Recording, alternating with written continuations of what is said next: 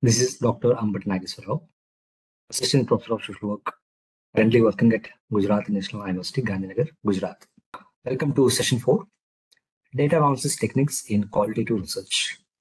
In this particular session, we are going to discuss about four types of data analysis techniques in qualitative research, thematic analysis, content analysis, sentiment analysis, and social media data analysis. I would like to acknowledge uh, various scholars for their contribution uh, which I have used as a part of this particular session. Now, when it comes to the uh, data analysis techniques, we have so many techniques we have. It depends on the background from where you are coming in. Are you coming from social science, humanities, management, uh, I don't know about uh, natural science and all, but when it comes to in general, social science, humanities, management, we do have a lot of frameworks. Uh, depends on our academic discipline. Let's take, for example, though I'm not going detail about all the methods here. For example, if you're going with framework analysis, if you're going to use framework analysis, we are going to identify certain theoretical framework or some kind of intervention, some kind of uh, solution framework as a researcher that you have identified. Okay. And based on the particular theory, you have collected your data. So what you're going to do is, as you have prepared your research tool based on some framework, that particular intervention, particular model is already available. So we are going to choose that particular framework as a model, even for as a part of your data analysis. Like for example, first thing is we already have identified framework. And after collecting the data, you're going to familiarize yourself with the data. Familiarize itself means just going through the data again, again, again, and understanding what is the data is all about it. What kind of data that we have collected it now, once we are understanding the data, you are going to apply the framework that you have identified before your data collection. Okay. Right. So you are going to apply the framework. For example, let's say, for example, uh, I'm sure some of you might be knowing uh, Amartya Sen capability approach. Professor Amartya Sen, uh, he's a Nobel Foods uh, awardee. And he was talking about providing affirmative actions is not only sufficient, one can also need to see how the beneficiaries are having access to resources and how they're able to convert this particular resources into their functions and capabilities. While converting it, what kind of options, what kind of choices they're offering for. I'm just putting in uh, for the very briefly, I'm explaining the concept of Amartya Sen capability approach. He was talking about two important concepts. One is capabilities, second one is freedom by using these particular capabilities. Government of India is saying that right to education for every child, they can uh, enroll in higher education institution, they can enroll in education institutions, they can study as Government of India is talking about under Right to Education Act. Now, as a researcher, you realize that government is providing basic support services, like they are not charging money.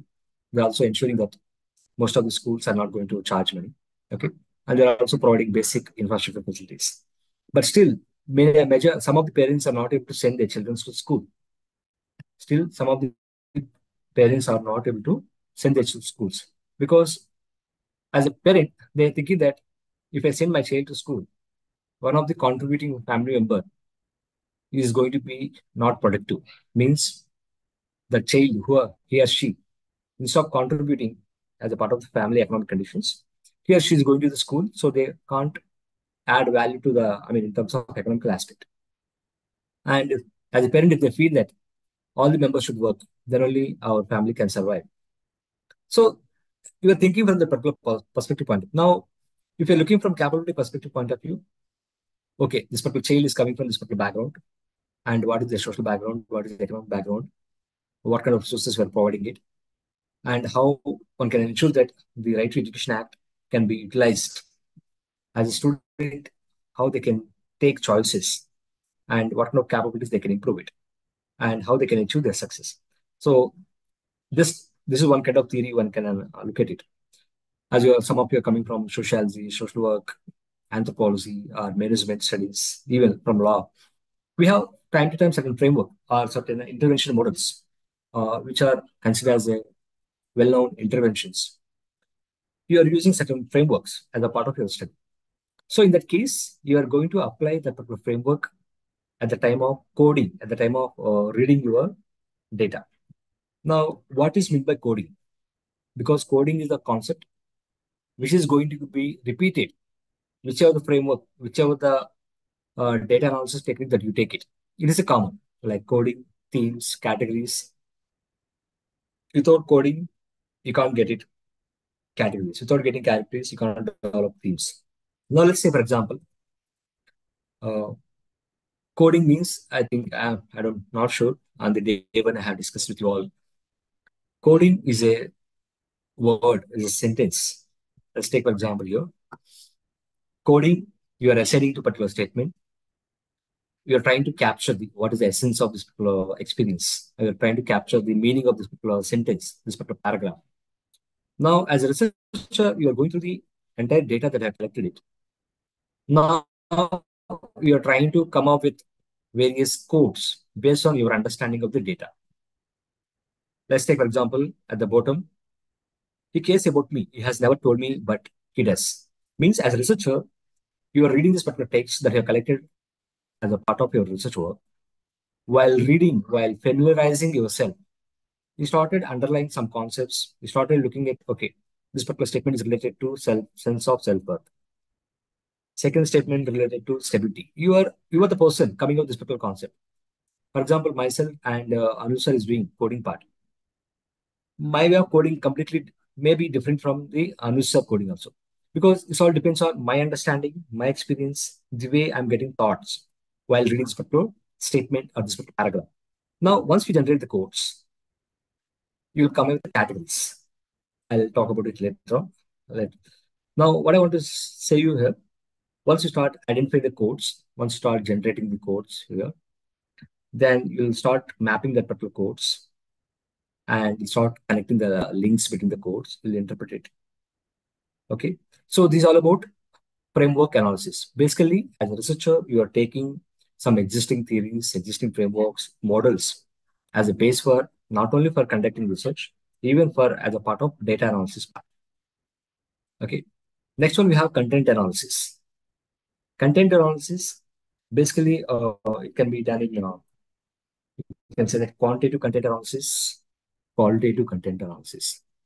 When I say quantitative content analysis and uh, qualitative content analysis, for example, as a researcher, I want to, for example, we have elections coming in, uh, not exactly sure, but month of April or April or May, we are going to have elections. Okay. Now, as a researcher, the person who is coming from political science background and the person who is coming from media and communication studies, the person who is coming from journalism. Okay. Now, this particular researcher wanted to understand, or even as a general common man, I want to understand we have good number of newspapers. We have good number of newspapers. And as a researcher, you're going to choose a couple of news channels, like, for example, uh, Times of India, Hindu. Imagine that you have chosen these two channels, these two newspapers. And you're going to talk about it from 1st January to 30th April, or I can say that for book method, 31st March, three months of time period. Now, you are going to study these two papers, Times of India and Hindu News Hindu newspaper, January 1st to 31st March. Now, the main objective is that you want to understand how different political parties are giving uh, promises. What of news is coming up? How particular newspapers are covering various news related to political activities. So, if that was your purpose, if that was your main objective of your study, if you want to understand how uh, different political leaders are promising or what kind of news are coming up, how media is covering it. Now, what is going to happen is you are going to have two news channels from this particular time period. We are going to have some checklist. We are going to have some checklist, like some containers. Okay. Uh, we have some political parties, national, national level parties, regional level parties, we have it. Now you take how each party leader was giving promises in terms of social, in terms of political, in terms of environmental aspects, are covering overall sustainable development goals point of view. Maybe uh, as a researcher, you're thinking something innovatively. Even after 75 years, uh, right now we're thinking about sustainable development goals. Is there any political uh, leader talking about their promises in uh, relation with uh, sustainable development goals? How they're thinking about H? Is anyone asking a question? Is All right. Yeah. Now, as a, I just want to know, is there any leader? What are the promises they're giving it? What are uh, activities they're doing it? Are they aligned towards sustainable development goals or not? Now we have 17 sustainable development goals. And now we are looking at it, looking at, okay, 1 to 17. What kind of news were covered from the last three months? Right? 1 to 17 are the containers. Goal number 1, goal number 2, goal number 3, goal number 17. These are the containers. Now, whatever the news comes to goal number 1 are in the area of, uh, for example, no poverty, eradication of hunger, gender equality, quality education, uh, sanitation. What are the goals we have? Peace, justice, right? Now, with you're trying to connect with all the sustainable development goals and what are the news is covered with reference to sustainable development goals, we are going to tick mark yes, no, or we'll come up with your own uh, way saying that how many times covered it, how many times they referred to sustainable development goals, and which sustainable development goal uh, referred more extensively, uh, state-wise, region, I mean, uh, national level-wise, party-wise, okay? So district-wise, you are going to create your own containers. Now here, as a content analysis, most of the uh, scholars from mass communication, I can, for that matter, I can say that humanities, for example, if you are coming from English language or philosophy background, or if you want to understand various scholars' work, contribution, and you want to evaluate their work, like yes, no questions, or ranking their work, uh, preparing some containers and just looking at this particular concept is covered or not, yes, no. So basically, you are going to have content, what con what is covered in this particular text, what is covered in particular images, what is covered in this particular news media, what is covered in the social media, uh, what is covered in the uh, as a market. Those are coming from market, uh, or I can say human resource management point of view, management studies point of view. Uh, how different companies are giving uh, various advertisements. As a part of advertisement, uh, how they are promoting their product. Okay, how many times this particular product is promoted. Okay, number of times this particular product is advertised in newspapers. So basically, you're trying to content. You are trying to quantify. You're trying to quantify. We also have inductive, like uh, you will come up with, uh, you will understand the data. Based on the data, you're going to develop themes. But majority of them trying to do it inductive when it comes to content analysis, like identify the main concepts that are discussed. It can be social blog, it can be newspaper, it can be TV news channels, or text, literature. Okay. Analyze the data for the number of mentions of those concepts. Means, like for example, if you go back to our yesterday class, our yesterday session, we have discussed about word frequency, like word cloud. Word cloud, we have discussed about it. And uh, yesterday, we also discussed about uh, coding matrix. Means we have some text with you. We have gone through around 10 research articles. And we have gone, we have done auto coding part. And from each article wise, we are looking at how concepts were developed, how many times this particular word is repeated, most frequent words, right? So we can use it text search, one can do that, uh, word cloud, one can do it, and uh, coding matrix, one can do as a part of content analysis. Look at whether, and you can also prepare uh, some uh, charts we have done yesterday, right? This is all part of what I have done yesterday. Uh, overall, I can say that that was part of content analysis. Uh, I have shared you uh, with you all a couple of sample research articles. Uh, these scholars, those used content analysis and how they have used content analysis. Like, for example, I was talking about elections newspapers. So I, I just learned from the one of the article. I just reading about, I was talking about the particular article only with, while explaining the concept of content analysis. Next one, we have thematic analysis. Uh, as you can see that uh, this is one of the important concept. I can say that uh, most frequently used method in uh, qualitative research work. So that's why I would like to spend a little bit good amount of time with that. Now, thematic analysis, as per the scholar uh, Braun and uh, Clarke, they have given uh, six stages of thematic analysis. You're trying to identify the themes out of the data, and you connect the themes, and you develop the theory out of it.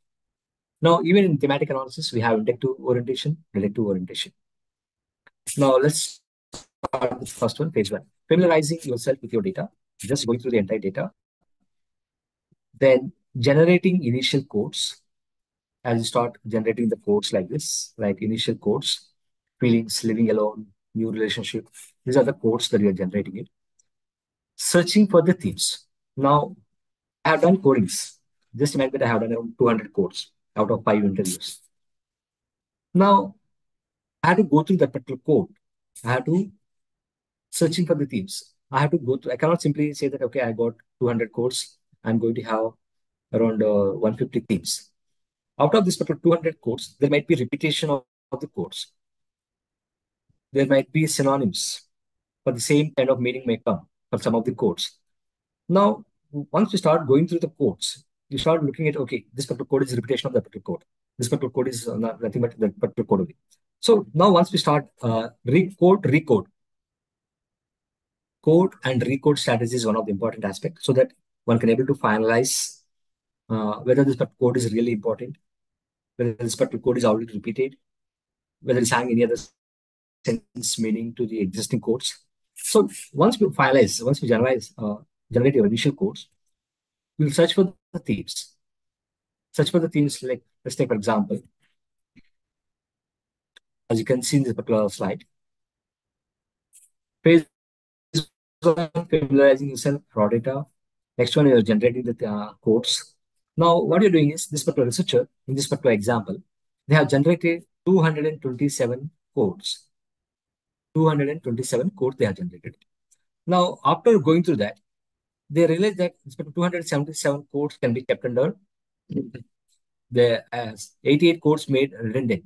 They have gone through the codes, they have seen the repetition, they have gone through the, they have reduced a lot of codes. Okay. Now, finally, what happened? They are able to come up 11 themes here and 10 themes here. Okay. Out of this particular 11 themes and 12 themes, they're able to come out. Now, it is going to happen only once you have understanding about it. Start looking at the codes, start generating categories, and within that, you feel that, for example, I was talking about, uh, let's say, for example, sustainable development goals. We all know that we have 17 sustainable development goals. Now, there are so many codes related to each goal, right? Now, first thing what you're doing, what are the data we have collected? We are trying to keep it under goal number one, goal number two, goal number three. After going through reading again, rereading again, uh, I may be wrong, just uh, from, don't go by face value. One, two, randomly I'm fixing like one, two, six. I'm just keeping that as a social goals or economic goal. Okay. Seven to 10, I'm keeping it as a another goal. Then again, keeping it as a environmental goal. Then another one, I'm keeping it as a peace. Goal number 17, I'm keeping as a partnership. 16 and 17 are separate goals we have. So I'm trying to, 17 goals, I'm categorizing under three to four different categories. Three to four different categories. Now, after categorizing under three to four categories, again, going through the data that I got it, there's no compulsion that every political leader might be talking about every each and every goal, right? Though we have 17 goals, but based on the uh, newspaper clip, based on the data that I collected, out of 17 goals, after going through the all the codes, you may say that most of the goals are related to eradication of poverty. Our majority of the goals related to uh, uh, quality of education, gender equality, and one to five goals, whichever you kept it under social goals.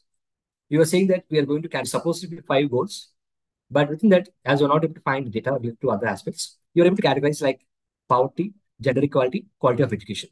So within the social goals, we have three categories, three subcategories. Similarly, economic goals we have. Now, what you're trying to, you're trying to identify the subcategories. And once we identify the subcategory, it will come like this. Themes you're going to develop. and further you're going to develop the theory out of it. So this is all about uh, mathematical analysis. And, next one we have narrative analysis. I think, uh, oh, I don't know whether this particular question was here yesterday. If you are looking at Mahendra Singh Dhoni life story, or if you're looking at uh, our humble Prime Minister Narendra Modi, or Mahendra Singh Dhoni, or Sachin Tendulkar, or any person you feel, or particular Supreme Court judge, or if you feel a big entrepreneur, commercial entrepreneur, what was their life? What was the challenges they faced? Today they are in a position. And what, what kind of obstacles they have seen? What kind of hindering factors they have seen? What kind of facilitating factors they have seen it? What was their life today?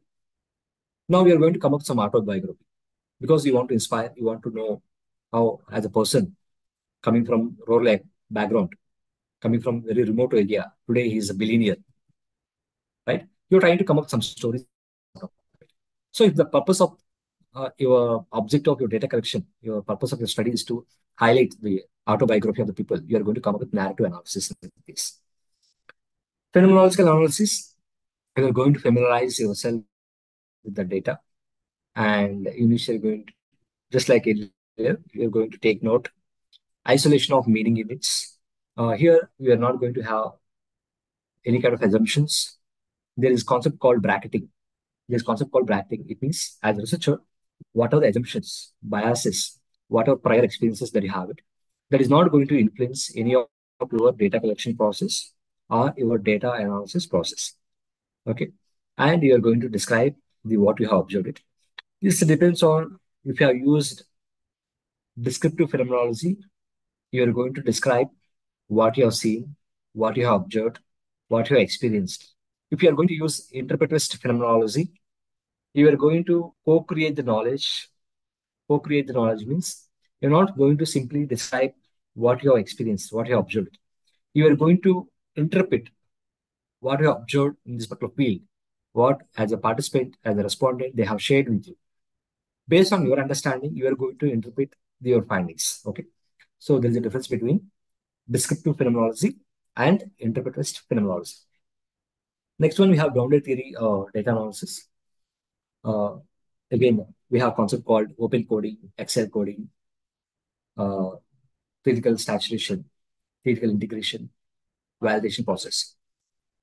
Open coding means just like what we have done at the initial stages, generating the codes.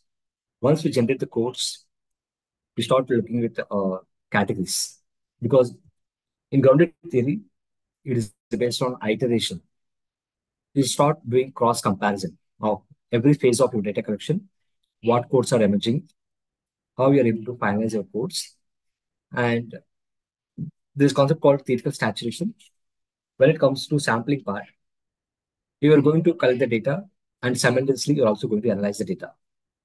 And once you feel you are not able to get any kind of new insights from your data that you are collecting it, you feel that you're saturated, means you're not getting any new insights.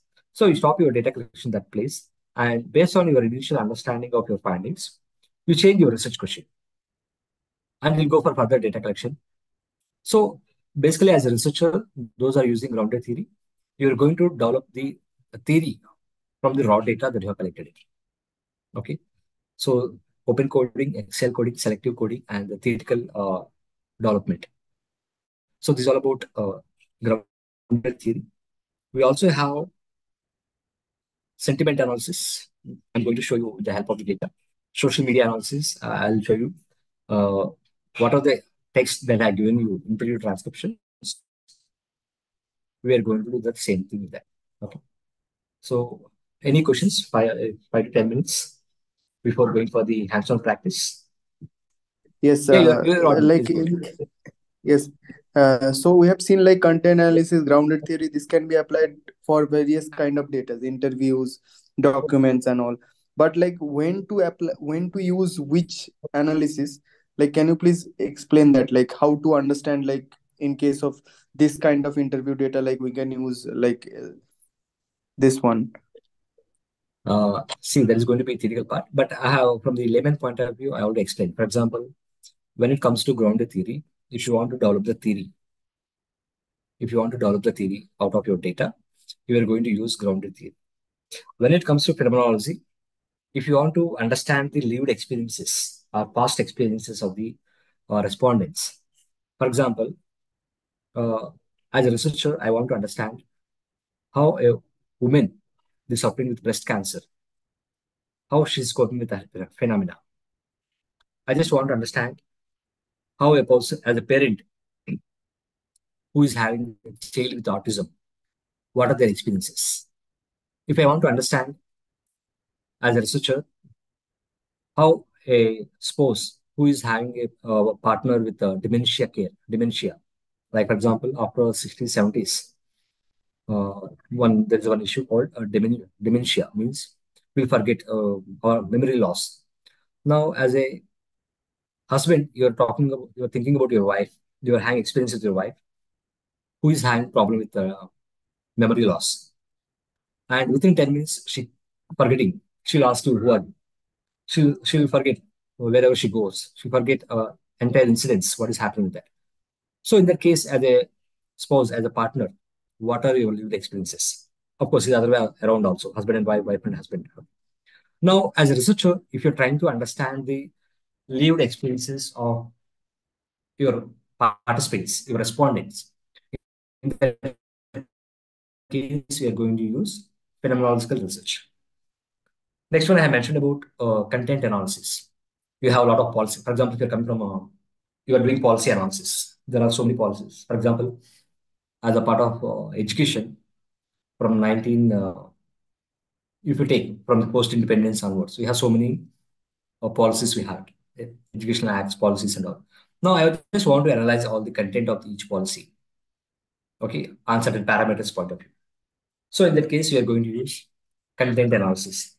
I have given the example of political elections, right? So I have given you clearly uh, what is the purpose, why one has to go for it but it is not a theoretical class uh, to go in. For example, I used to take general grounded theory is one of our two hours more, and phenomenology is going to be two hours. So that's going to be a different, completely different session. Okay. So this is what I can briefly I can explain to you. Yeah. Okay, sir. Okay. Sir. Thanks. Yeah, please, yes, please. sir. I understood, sir.